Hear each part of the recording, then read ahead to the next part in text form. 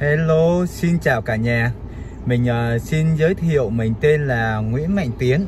Hiện tại mình đang uh, sống và làm việc tại thành phố Hòa Lộc.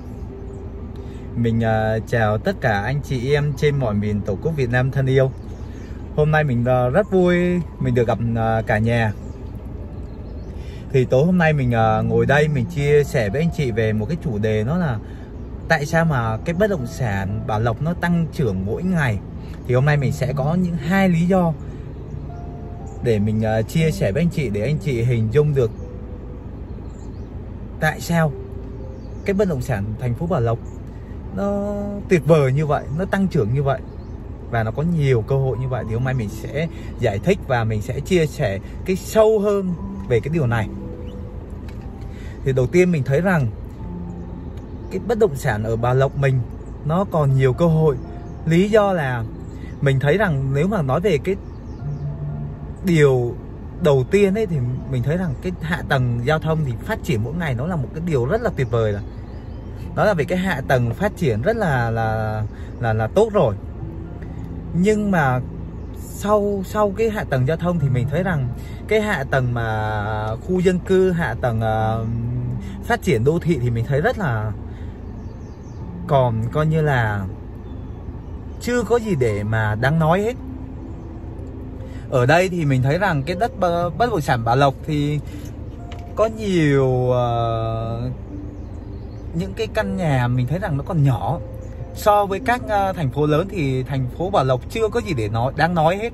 Mình thấy rằng còn nhiều cái căn nhà nhiều ngôi nhà rất là mộc mạc và rất là đơn giản và chưa có gì để mà mình thấy rằng so với các thành phố lớn thì uh, thành phố Bảo Lộc mới có một cái nếu mà nói về hạ tầng uh, dân cư hạ tầng đất ở thì mình thấy rằng nó chưa được một một một phần trăm luôn. Mình thấy rằng nó còn uh, đơn giản. Nhưng mà chính cái điều này thì mình mới cảm nhận rằng đất Bảo Lộc còn nhiều cơ hội. Còn nhiều cơ hội ở đây là gì? Mình thấy rằng có nhiều tập đoàn lớn họ chưa có đầu tư ở Bảo Lộc. Trong khi đó thì các thành phố lớn thì có những cái tòa nhà, những cái tòa nhà chung cư lớn này, rồi những cái cao ốc lớn mà thành phố Bảo Lộc thì chưa có gì hết. Chính cái điều này thì nó lại tạo ra một cơ hội rất là lớn cho những anh chị mà đầu, muốn đầu tư tại thành phố Bảo Lộc. Thì khi mà mình cảm nhận rằng ờ, sắp tới sẽ có nhiều tập đoàn lớn.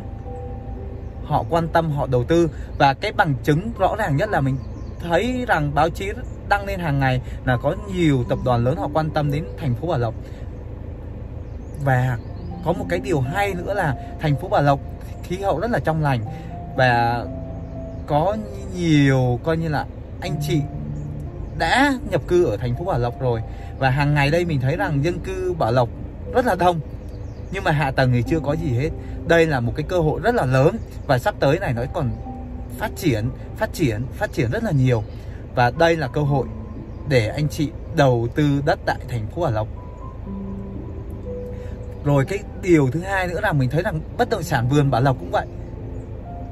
Chưa có gì gọi là phát triển, nó có một cái gì đó, nó là nó chuyên nghiệp và mình thấy rằng còn thủ công rất là nhiều. Và mình cảm nhận là nó còn chưa có gì gọi là chớm để mà có một cái cái gì đó nó đột phá. Và mình thấy rằng sắp tới này thì mình hiển nhiên nhiều anh chị à, có tài chính tốt này họ đầu tư đất vườn tại thành phố Bảo Lộc thì họ sẽ đầu tư hạ tầng này rồi uh, trang trí cái bất động sản và có nhiều cái cơ hội để cái bất động sản Bảo Lộc nó phát triển hơn nữa. Đó đây cũng là một cái cơ hội để nhiều anh chị đầu tư tại thành phố Bảo Lộc mình chúc rằng, mình chúc mừng là những anh chị đã đầu tư đất Bảo Lộc và sắp tới này thì giá trị tăng thì anh chị đã hưởng lợi rất là nhiều rồi. Và nó còn hưởng lợi nhiều hơn nữa, kèm theo cái hạ tầng phát triển và cái cái cái, có nhiều cái cơ hội mà nhiều anh chị ờ, nơi khác đầu tư về Bảo Lộc thì nó sẽ tăng trưởng tăng trưởng ở đây. Mình nói rằng riêng cá nhân mình mình cảm nhận thôi là bất động sản ở Bảo Lộc thì nó còn giá thấp trong khi đó thì những thành phố lớn thì cái bất động sản tính bằng mét vuông rồi.